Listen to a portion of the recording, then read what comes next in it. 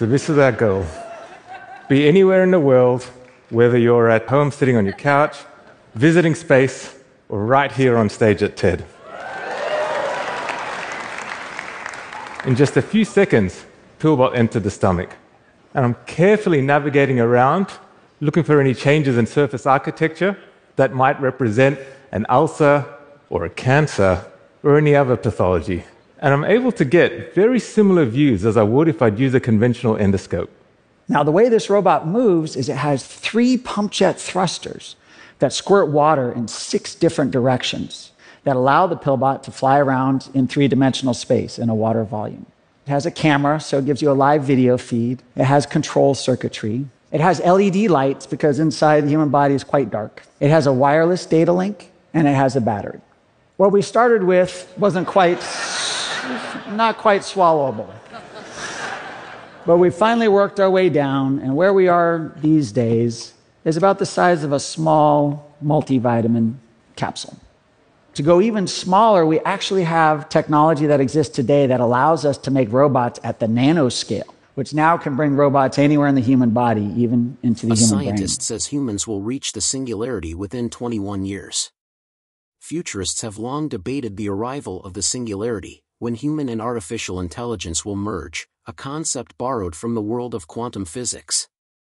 American computer scientist and futurist Ray Kurzweil has long argued that the singularity would likely occur around the middle of the 21st century, and with the rise of AI, his predictions are gaining more credence. In his new book, The Singularity is Nearer, Kurzweil doubles down on those predictions and details how humanity's intelligence will increase a millionfold via nanobots, among other things. You don't exactly become a world-renowned futurist by making safe predictions. And while some of these past predictions haven't exactly come to pass, Back to the Future Part 2, specifically, these ideas help expand our thoughts on what exactly the future might look like. And no one makes futuristic predictions quite like Ray Kurzweil. An American computer scientist turned futurist, Kurzweil has long believed that humanity is headed toward what's known as the singularity, when man and machine merge.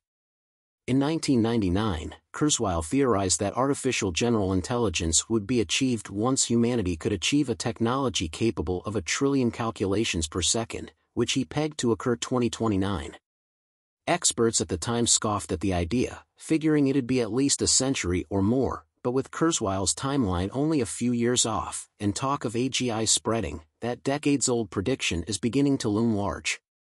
Now in his new book published last month, The Singularity is Nearer, a play on his 2005 book of the same name Minusener, Kurzweil doubles down on these ideas in the modern era of artificial intelligence.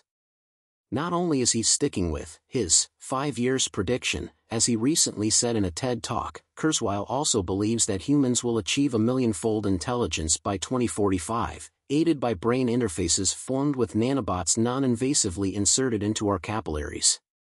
We're going to be a combination of our natural intelligence and our cybernetic intelligence, Kurzweil said in an interview with The Guardian, and it's all going to be rolled into one. We are going to expand intelligence a millionfold by 2045, and it is going to deepen our awareness and consciousness.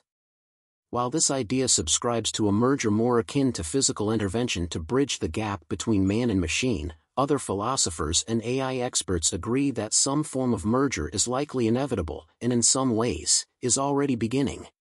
In July, Oxford's Marcus du Sautoy and Nick Bostrom both expounded on the hopeful and harrowing possibilities of our AI future, and for both of them, a kind of synthesis appeared inevitable. I think that we are headed toward a hybrid future, Sautoy told Popular Mechanics. We still believe that we are the only beings with a high level of consciousness. This is part of the whole Copernican journey that we are not unique. We're not at the center. Of course, this brave new world of a hybrid AI human existence brings with it a plethora of issues both political and personal. What will humans do for jobs? Could we possibly live forever?